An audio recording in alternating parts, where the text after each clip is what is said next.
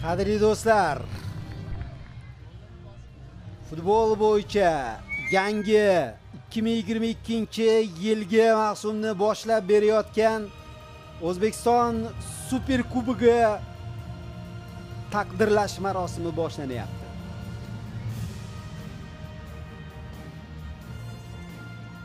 Ravshan ermatov odil ahmedov bu insonlarni ortiqcha tanishtirib o'tirish shart emas.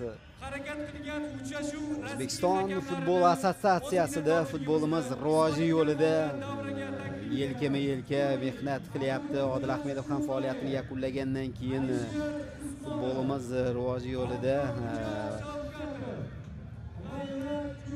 kuch g'ayrat bilan e, yangi ishga kirishdi. Hozir bugungi taqdirlash marosimida g'oliblarni e, tabriklash qutlash tadbirida ishtirok etadi.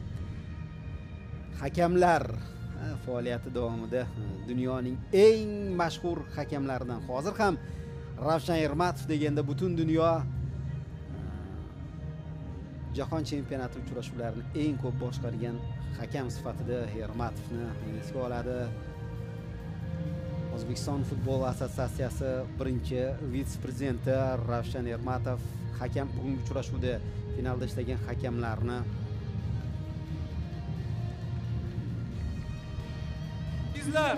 tabrikladi. Ularga o'ziga xos sovrin topshirildi.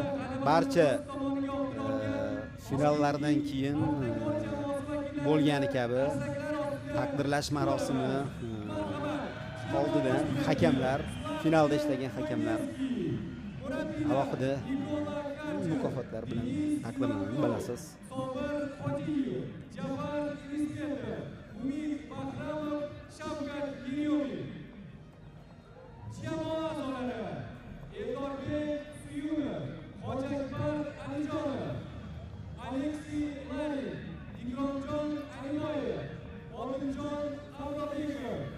This is.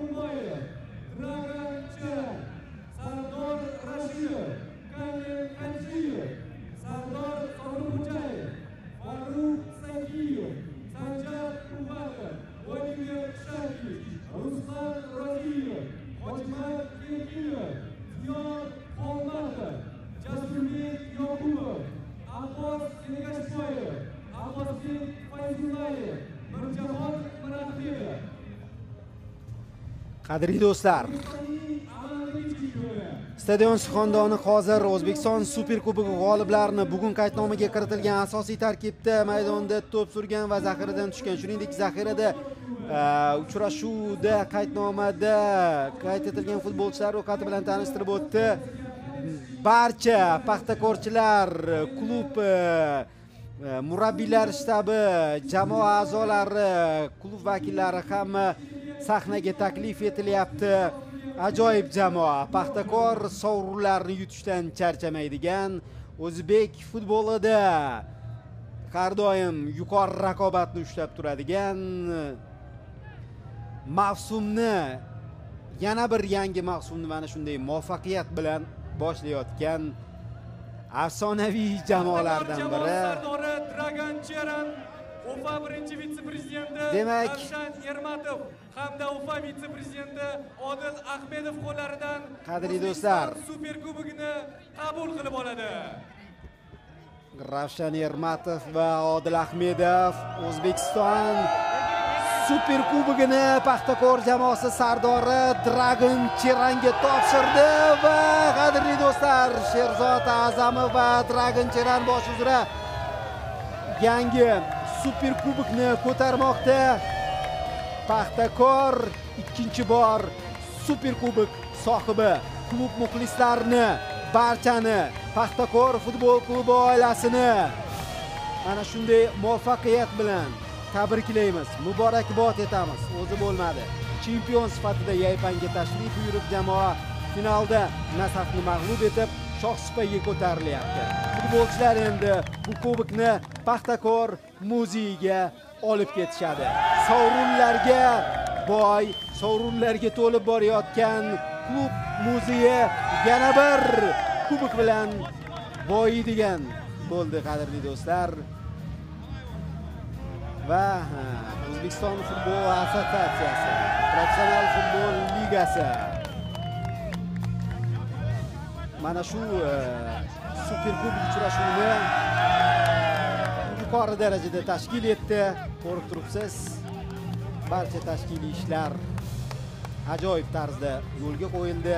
Sport telekanali jamoasi esa gaypan shahrida o'tgan mavsumning ilk uchrashuvini to'liq hajmda e'tiboringizga havola etdi. Mavsum boshlanyapti do'stlar. 2 mart sanasidan o'zbekiston superligasi karvoni yo'lga chiqadi va sport telekanali mavsum davomida o'zbekiston chempionati uchrashuvlaridan reportajlarni e'tiboringizga havola etadi. Shu nuqtada yana bir bor paxtakor klubini ajoyib g'alaba bilan va sovrin bilan muxlislarni mana shu klubga eh, ishqibozlik qiladigan eh, barcha barchani tabriklab xayrlashamiz va shu o'rinda aytib o'tmoqchiman do'stlar.